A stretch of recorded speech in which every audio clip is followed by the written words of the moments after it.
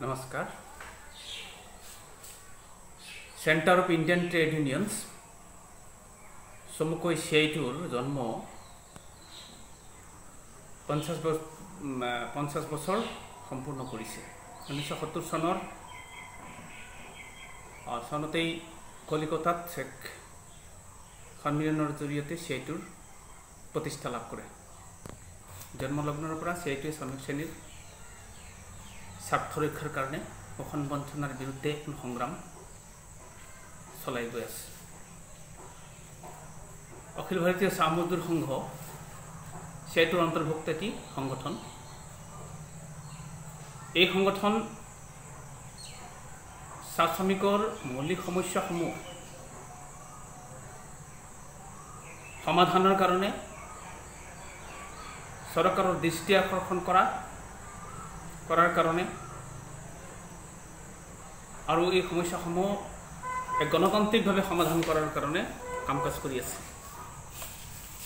আপোনালোকে জানে চাহ শ্ৰমিক অসমৰ এক বৃহৎ অসমীয়া জাতিৰ এটা বৃহৎ অংশ। চাহ শ্ৰমিকসকল স্বাধীনতাৰ পূৰ্বতেই হওক বা স্বাধীনতাৰ পিছতেই হওক এক নিষ্ঠুৰ অমানৱিক শোষণ আৰু বঞ্চনাৰ বলি হৈ আহিছে। ক'বলৈ গ'লে জীয়াই থকাৰ কাৰণে সাধাৰণতম ন্যূনতম যিখিনি সুযোগ শিক্ষা স্বাস্থ্য বাসস্থান এটা উন্নত বা মৰ্যাদা সম্পন্ন মজুৰি এই সকলোবিলাকৰ পৰাই চাহ শ্ৰমিকসকল বঞ্চিত হৈ আহিছে। স্বাধীনতাৰ তেসত্তৰ বছৰ পিছতো এই সমস্যাবিলাক সমাধান নহ'ল। ক'বলৈ গ'লে ব্ৰিটিছ যুগত যেনেকৈ বন্দেজ লেবাৰ হিচাপে বা বন্ধুৱা শ্ৰমিক হিচাপে আছিল স্বাধীনতাৰ পিছতো আজিলৈকে প্ৰায় একে নিচিনাই একে পৰ্যায়তে চাহ শ্ৰমিকসকল সেইধৰণে আছে। গতিকে তাৰ মূল কাৰণটো হৈছে মালিক পক্ষ আৰু চৰকাৰ। এই দুয়োটা দিশৰ পৰাই চাহ শ্ৰমিকসকলক প্ৰতাৰণা কৰা হৈ আছে। ন্যূনতম সা সুবিধাখিনি আৰু আইনী যিখিনি ব্যৱস্থা আছে আইনী অধিকাৰবিলাক চাহ মালিকৰ দ্বাৰা লংঘিত হৈ আছে। চৰকাৰী ইয়াক ব্যৱস্থা কৰাৰ কাৰণে চৰকাৰী বাধ্যতামূলকভাৱে যাতে শ্ৰমিকসকলে এই সা সুবিধাখিনি পায় ন্যূনতম মানুহ হিচাপে যিখিনি প্ৰয়োজনীয় সা সুবিধা পোৱা প্ৰয়োজন সেইখিনিকেও ৰক্ষণাবেক্ষণ দিয়াৰ কাৰণে চৰকাৰে যিকোনো চৰকাৰে ব্যৰ্থ হৈছে তেনে পৰিস্থিতিত অখিল ভাৰতীয় চাহ মজদুৰ সংঘ সেইটোৰ এটা সংগঠন শ্ৰমিকৰ মাজত কাম কৰিবলগীয়া হৈছিল অখিল ভাৰতীয় চাহ মজদুৰ সংঘৰ গঠিত হৈছিল ঊনৈছশ পঁচপন্ন চনত। পৰৱৰ্তী সময়ত চি আই টোৰ অন্তৰ্ভুক্ত হৈ এই সংগঠন চাহ শ্ৰমিকৰ মৌলিক সমস্যা তুলি ধৰাৰ কাৰণে এই শ্ৰমিক সংগঠনে চেষ্টা কৰি আহিছে। প্ৰথমতেই ৰাঙাপাৰা অঞ্চলত শোণিত তেতিয়াৰ দৰং জিলা ৰাঙাপাৰাক কেন্দ্ৰ কৰি এই সংগঠনে সমগ্ৰ অসমতে নিজৰ সংগঠন বৃদ্ধি কৰি শ্ৰমিক শ্ৰেণীৰ বা চাহ শ্ৰমিকৰ মৌলিক সমস্যাসমূহ সমাধান কৰাৰ আন্দোলন এক সংগ্ৰামী আন্দোলন গঢ়ি তোলাৰ কাৰণে প্ৰচেষ্টা চলাইছিল ইয়াৰ গুৰি ধৰিতা আমি জানো যে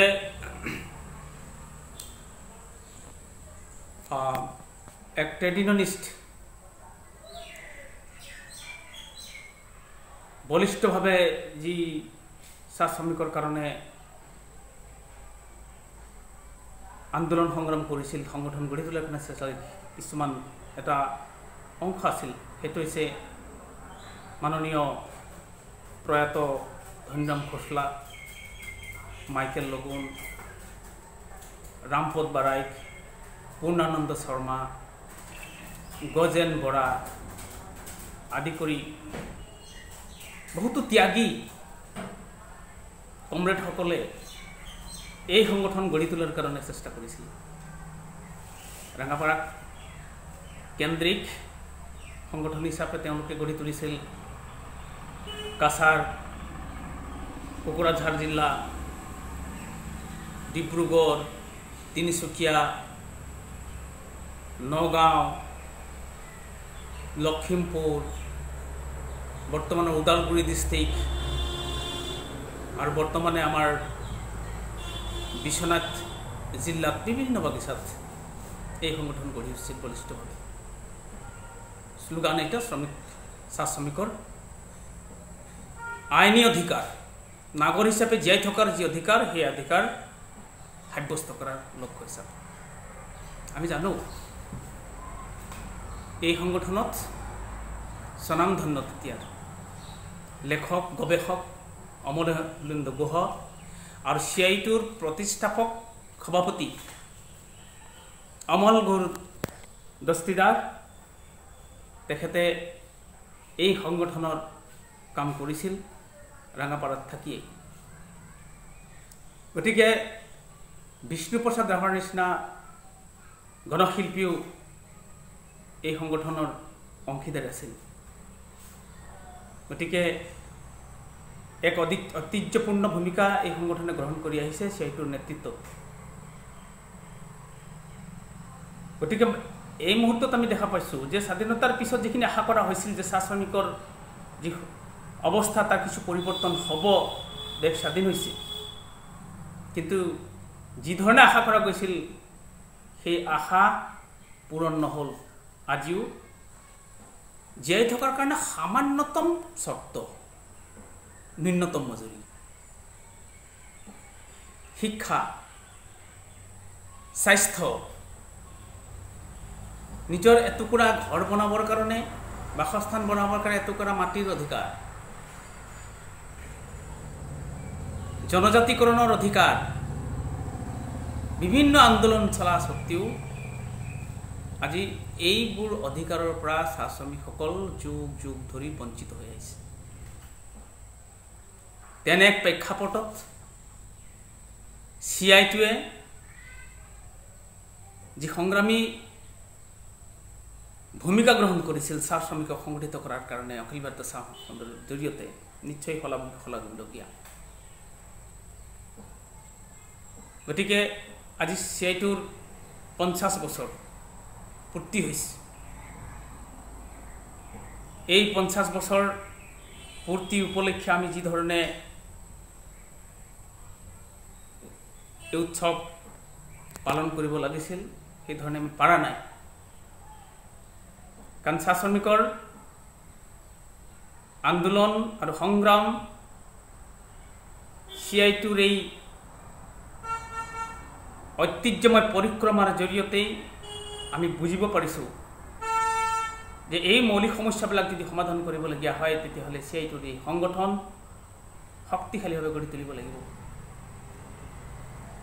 মাটিৰ অধিকাৰ, ভেটি মাটিৰ অধিকাৰ, শিক্ষাৰ অধিকাৰ, আমাৰ মৌলিক অধিকাৰ, শিক্ষাৰ পৰা আমাক কোনো বঞ্চিত কৰিব নোৱাৰে যদিও আমি দেখা পাইছোঁ বন্দেজ লেবাৰ হিচাপে অৰ্থাৎ বন্ধুৱা শ্ৰমিক হিচাপে যাতে ৰাখিব পৰা যায় চৰকাৰ আৰু মালিক পক্ষই অহৰহ চেষ্টা চলাই আছে।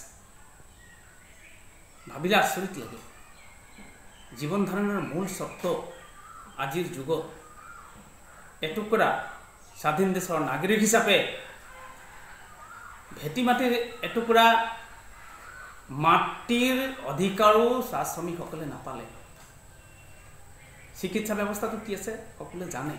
গতিকে তেনে প্ৰেক্ষাপটত চি আই টোৱে বলিষ্ঠভাৱে এই দাবীবোৰ উত্থাপন কৰিছে তেওঁলোকৰ মঞ্চৰ পৰা। অখিল ভাৰতীয় চাহ মজদুৰ সংঘক মঞ্চৰ পৰা উত্থাপন কৰি শক্তিশালী আন্দোলন গঢ়ি তোলাৰ কাৰণে চেষ্টা চলাই আহিছে। আমি জানো যে এই কামটো ইমান সহজ নহয়। চাহ শ্ৰমিক সকলক যাতে তেওঁলোক উন্নতি কৰিব নোৱাৰে বিভিন্ন মালিক পক্ষ আৰু তথাকথিত শ্ৰমিক সংগঠন যিবোৰ আছে তেখেতসকলে এই মৌলিক সমস্যাবিলাক তুলি ধৰাৰ কাৰণে ব্যৰ্থ হৈছে। আচৰিত কথা এটা অৰ্গেনাইজ ছেক্টৰ এটা সংগঠিত ক্ষেত্ৰ চাহৰ পৰা চৰকাৰে কোটি কোটি টকা অসমে আমদানি কৰে। কিন্তু চাহ শ্ৰমিকৰ তেওঁলোকৰ বিকাশৰ বেলিকা চৰকাৰে পিঠি দি আহিছে। আমি তাকে দেখা পাই আছোঁ এতিয়া আৰু নীতি চিতি নাই। এতিয়া আঁচনিবিলাকেহে চাহ শ্ৰমিকৰ মাজত বা সকলোৰে মাজত আঁচনিবিলাকৰ জৰিয়তে কিছু কাম কৰাৰ চেষ্টা কৰি আছে। এতিয়া এতিয়া আৰু সেই আইন চাইনবিলাক নাইকিয়া কৰাৰ কাৰণে চৰকাৰ চেষ্টা চলে। য'ত আইন আছিল কিন্তু আইন কাৰ্যকৰী হোৱা নাছিল আজি কিন্তু সেই আইনবিলাক নাইকিয়া হৈ যাব ধৰিছে। তেনে প্ৰেক্ষাপটত অহা দিনবিলাকত অখিল ভাৰতীয় চাহ মজদুৰ সংঘৰ নেতৃত্বত চি আই টিৰ নেতৃত্বত শ্ৰমিক শ্ৰেণীক অৰ্থাৎ চাহ শ্ৰমিকসকলক ঐক্যবদ্ধ কৰি এক শক্তিশালী শ্ৰমিক আন্দোলন চাহ শ্ৰমিক আন্দোলন গঢ়ি তুলিব লাগিব। জীৱনৰ কাৰণে অতি প্ৰয়োজনীয় বস্তুবিলাক যাতে চাহ শ্ৰমিকখনে আদায় কৰিব পাৰে তাৰ কাৰণে বৰিষ্ঠ আন্দোলনৰ প্ৰয়োজন। এই ঐতিহ্যই বহন কৰিছে চি আই টিয়ে তেওঁৰ জন চি আই টিৰ জন্মলগ্নৰ পৰা। গতিকে আহি থকা দিনবিলাকত নিশ্চয় চৰকাৰে আমি দেখিছোঁ বৰ্তমানে চৰকাৰে যি ধৰণৰ বৰ্তমানৰ চৰকাৰে নীতি গ্ৰহণ কৰিছে শ্ৰম আইনসমূহ নাইকিয়া কৰাৰ মাজেৰে শ্ৰমিকৰ অধিকাৰবিলাক কাঢ়ি লৈ যোৱাৰ অপচেষ্টা চলাইছে ইতিমধ্যে কিছুমান আইন সংশোধন কৰি তাক কোড হিচাপে শ্ৰমিক সংহিতা হিচাপে গণ্য কৰিছে ইতিমধ্যে পাৰ্লিয়ামেণ্টত এইবিলাক পাছ হৈ গৈছেগৈ কিছু ৱেজ কোড বুলি গতিকে আহি থকা দিনবিলাক আৰু জটিল হ'ব গতিকে চি আই এই সংগ্ৰামী ঐতিহ্যৰে পৰিপুষ্ট হৈ আমি অখিল ভাৰতীয় চাহ মজদুৰ অনাগত দিনবিলাকত এক শক্তিশালী শ্ৰমিক আন্দোলন গঢ়ি তোলাৰ কাৰণে আমি প্ৰতিজ্ঞাবদ্ধ। চাহ শ্ৰমিকক যাতে অন্যান্য শ্ৰমিক আন্দোলনৰ লগত যুক্ত কৰি চাহ শ্ৰমিকৰ আন্দোলন যাকে গণতান্ত্ৰিকভাৱে সংগঠিত কৰিব পৰা যায়, এই ব্যৱস্থা আমি হাতত ল'ব লাগিব। গতিকে এয়াই আজিৰ এক প্ৰত্যাহ্বান, কি ধৰণে শ্ৰমিক শ্ৰেণীৰ বা শ্ৰমিকসকলৰ স্বাৰ্থ ৰক্ষা কৰিব পৰা যাব, শ্ৰমিকসকলৰ অধিকাৰ যাতে নাইকিয়া হৈ নাযায়, চৰকাৰী ব্যৱস্থাৰ বিৰুদ্ধে সংগ্ৰাম সংগঠিত নিশ্চয় কৰিব লাগিব। ধন্যবাদ।